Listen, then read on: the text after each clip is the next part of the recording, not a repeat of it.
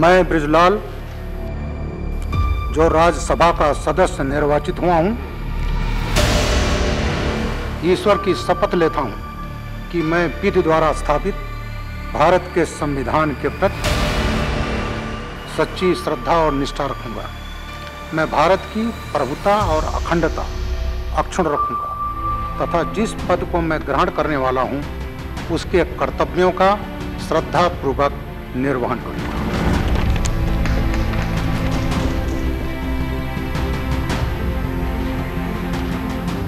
आपके माध्यम से सरकार का ध्यान आकृष्ट करना चाहता हूँ कि हमारी डिफेंस फोर्सेज को मैं आपके माध्यम से असॉल्ट राइफल कई राज्यों में राजकीय विश्वविद्यालयों मैं माननीय मंत्री जी से जानना चाहूँगा कि इसको प्रायोरिटी पे लेकर और सैनिक जल मैं सरकार द्वारा प्रस्तुत संविधान अनुसूचित जातियाँ और अनुसूचित जनजातियाँ। नीम कोटेड यूरिया शुरू होने के बाद भी कई इंडस्ट्री ऐसी हैं जो उसका दुरुपयोग करके पेंट इंडस्ट्री और प्लाई फ़ूड इंडस्ट्री में इसका दुरुपयोग कर रही है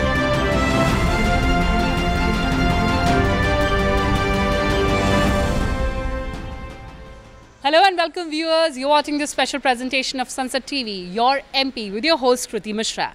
And joining us today is a very special guest, member of the Upper House, Mr. Brajlal, who's also the chairman of the Parliamentary Standing Committee on Home Affairs. Sir, welcome to Sunset TV and thank you so much for joining us. Thank you. Sir, let's begin talking about your parliamentary participation. What kind of issues have you raised in the House? Because I know you're a regular speaker, whether on the bills, whether during zero hour or asking the questions during question hour. So tell me the core areas that you've raised for representing your people. I joined the parliament in November 2020.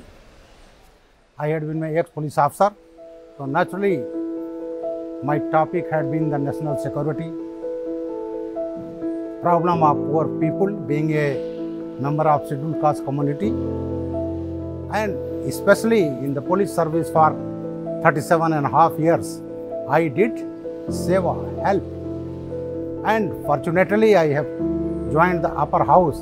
Then i have got opportunity to raise the issue. I speak on every issue. But during parliament session i spoke on national security. And that was very popular my speech about 18 minutes 36 seconds when i asked spoke on terrorism and the opposition party and they misused the political party, they misguided the people of India. So that is right. Second issue is scheduled caste and scheduled tribe.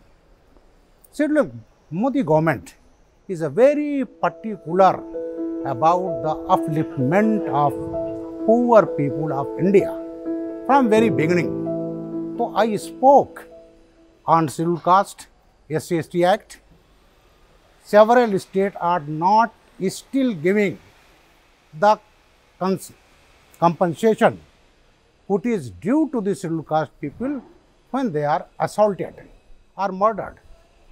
So I raised the issue and my state Uttar Pradesh I had been a CSC commission chairman there. They first they they uh, did it. So my issue had been caste scheduled tribe. My favorite subject is agriculture, being a son of a farmer. My favorite subject is Paryavaran. My favorite horticulture, agriculture. On every subject I spoke, and I prefer to speak in the parliament on these subjects, every subject.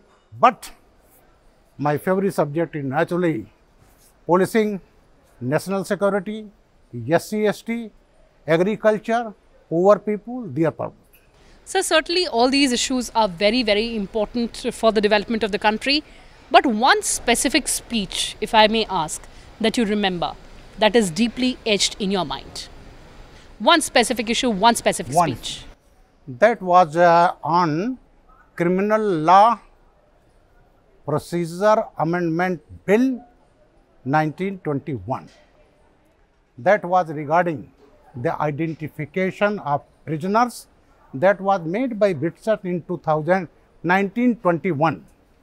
So after 100 years, the BJP government has uh, that bill that was brought in the Rajya Sabha and I had the opportunity to speak. In that speech, since the opposition member always say this act, this amendment act will be misused, I expose them.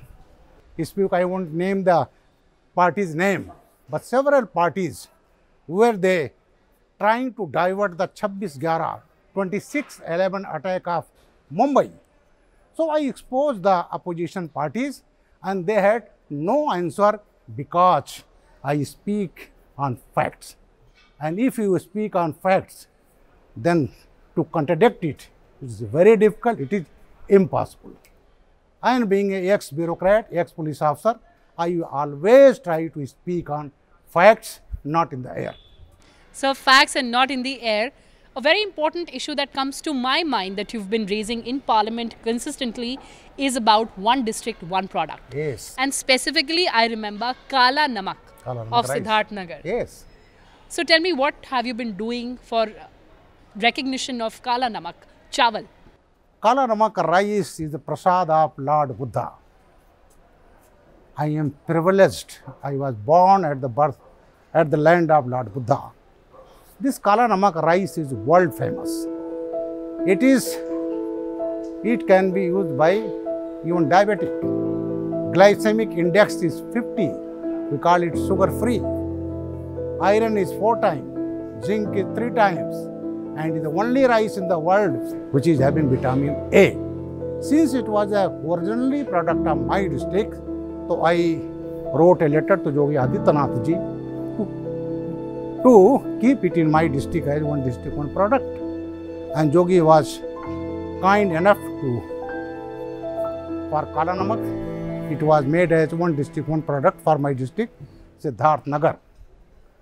Today, due to one district, one product, we are exporting it to several countries and it is known as Mahaprasad of Lord Buddha. Now the poor farmer of eastern UP, especially the 11 district that is geographical indication, the Basti Mandal, Gorakhpur Mandal and Devi Patan Mandal Gonda. These 11 districts farmers who grow Kala Namak, they have benefited. Its production has increased manifold and we are exporting it. So I am happy that I belong to the place. I raised this issue, bought in one district, one product, and now it is a become a international rice and it is exported, especially the Buddhist countries because they are attached to Lord Buddha. They come to my place, to the place of Lord Buddha's birth, and it has picked up. Thank you. Absolutely, sir. Kala Namak, we've been hearing uh, about this in Parliament through you. But, sir, a very important part I'd like to touch upon, which is, of course, a lot of trust has been reposed on you. You're a first time member. You've made, made the chairman of the Parliamentary Standing Committee on Home Affairs. All the committees are important, but certainly Home Affairs has a lot of value in terms of what output or what suggestions or observations it gives uh, to the government. So, as the chairman, what are the important issues that you've picked up in the standing committee? Certainly, the Parliament Standing Committee on Home Affairs is a very, very important committee, and I am thankful to my Prime Minister, my Home Minister, my party. They made me as a chairman party. Being a ex-police officer who has served for more than 37 years, so naturally I know the problems of paramilitary, all paramilitaries, and I still remember in 2012 when I was taken as DG CRPF, the then Samajwadi government of Uttar Pradesh didn't relieve me, I would have become DG CRPF. But now I am happy that presently as a chairman, I am looking after the policy, planning and everything of our parliamentary forces. So since being a police officer, I know what is their problem, what uh, uh, logistics they need, what weaponry they need, and what can be done. So as a chairman, I am looking after this. Then I am also having development of northeastern region. Just I, when I become chairman, my first priority was to visit Northeast. I visited Meghalaya and Assam, and there I issued lot of issues for the development of people of Northeastern region. So that is my priority issue. Thank you. Also, the facts, sir, the reports that you have tabled so far. Tell us about a very important report that you've presented to the chairman, to the speaker of Lok Sabha. We have presented, I think, three to four reports, and some reports are ready. We have presented a report on modernization. Modernization is very important for the police force.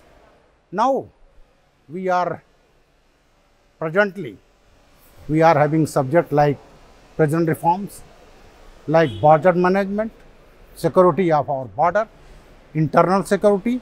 These issues are we are having, and very soon we will submit our reports to the parliament. So, let's also talk about roots. I know that you've written several books.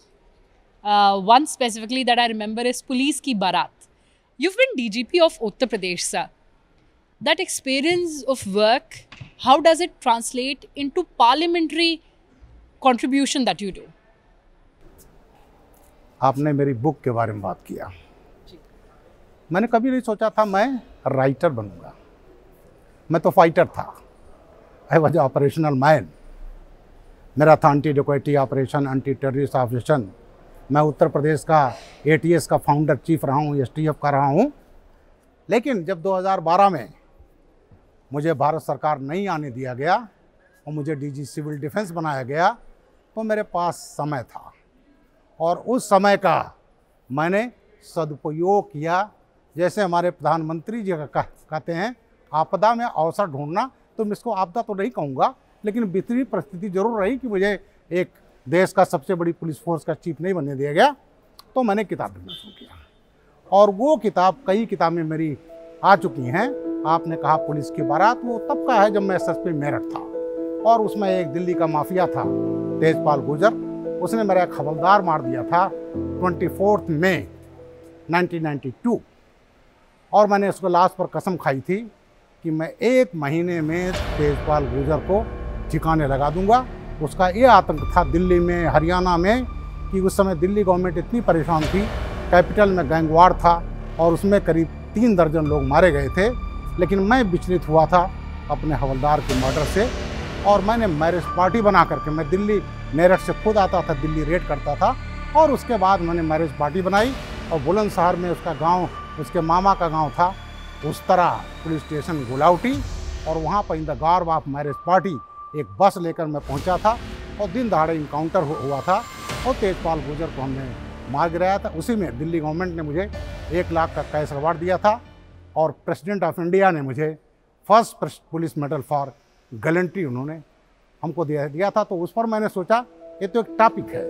लेकिन मैंने उस किताब में लिखा है कि छिहत्तर में नोएडा बना छिहत्तर में गाजियाबाद बना और उसके बाद जो किसानों की ज़मीनें थीं, ऊसर थीं, एकाएक उनका कीमत सोना नहीं, प्लेटिनम हो गया।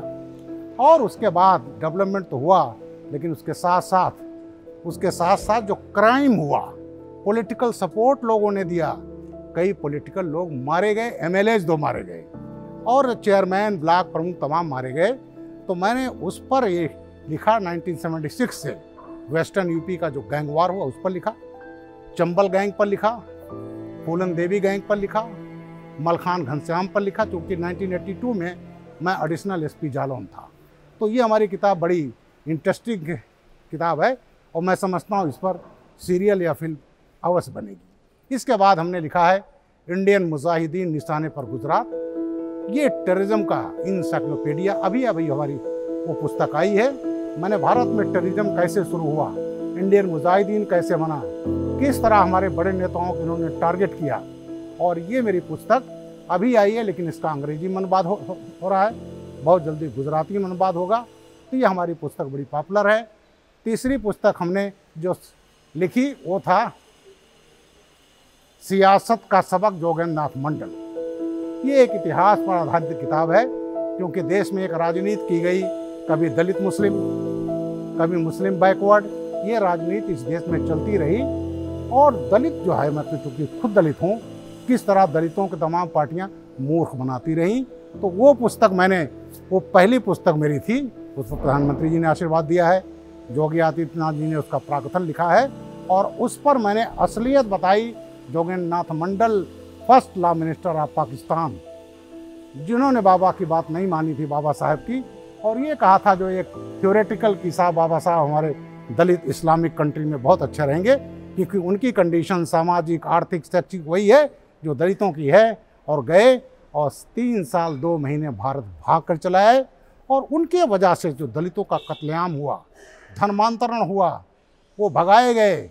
भारत में उनको आसाम में, बंगाल में, उत्तर प्रदेश के लखीमपुर, खीरी, पीलीभीत, बरेली, किच्छा, रुद्रपुर, नैनीताल, इन सब में बसाया गया। इस इतिहास को और मंडल जी, जो 1946 में इंटरिम गवर्नमेंट में अनडिवाइडेड इंडिया के लॉ मिनिस्टर थे। 46 47 में वो बंगाल के कैबिनेट मिनिस्टर थे।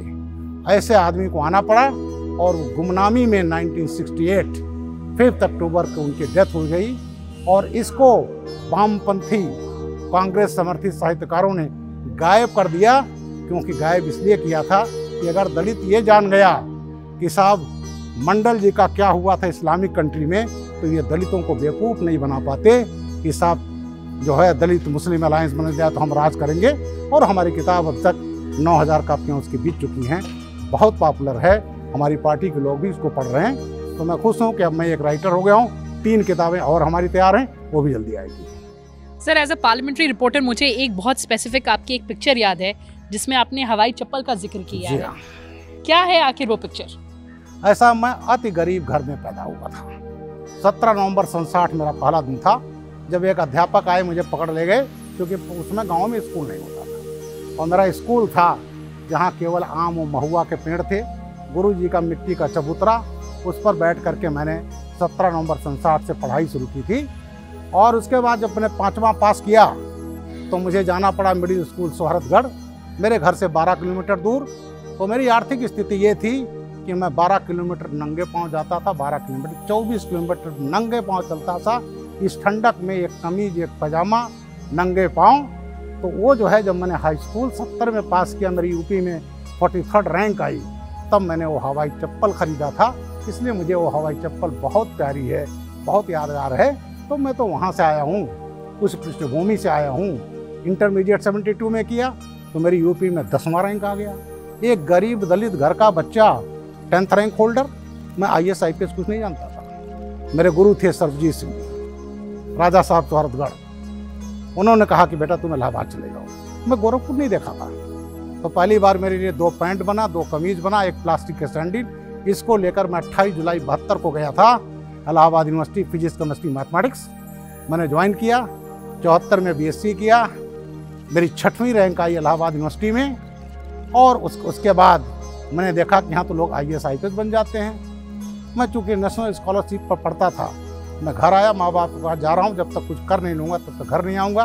तो छिहत्तर में मैंने एम एस सी मैथमेटिक्स किया, छिहत्तर में इंडियन फॉरेस्ट सर्विस बैठा, छिहत्तर में सिविल सर्विस बैठा ऑप्शन केवल आईपीएस और नवंबर छिहत्तर में मैं ठीक बाईस साल का था, मैं आईएफएस अफसर हो गया, पहली मार्च सतहत्तर को फॉरेस्ट अकेडमी देहरादून, और चार महीने बाद इंडियन पुलिस सर्विस तो इसलिए हमको लोग कहते थे कि तुम तो बच्चे हो आई ट्राई कर लो, मैंने कहा हमें इंडियन पुलिस सर्विस में जो आनंद मिलेगा तो मुझे आनंद मिला। लोग हमें आम समझते हैं, ऑपरेशनल आदमी है। लेकिन ये गरीब के घर में पैदा होने के कारण गरीब का दर्द मैं जानता था। और पुलिस सर्विस ऐसी है कि अगर पुलिस अफसर ईमानदार है, निष्पक्ष है तो जो इमीडिएट सेवा वो कर सकता है, वो कोई सर्विस सेवा नहीं कर सकती। इसलिए मैंने इंडियन पुलिस सर्विस ज्वाइन किया। और जब मैं रिटायर होने लगा तो लोगों ने कहा कि साहब कैसा रहा आपका सफ़र पौने अड़तीस साल का? तो मैंने कहा देखिए हम हिंदू धर्म के हैं। हम लोग क्या कहते हैं? मोक्ष।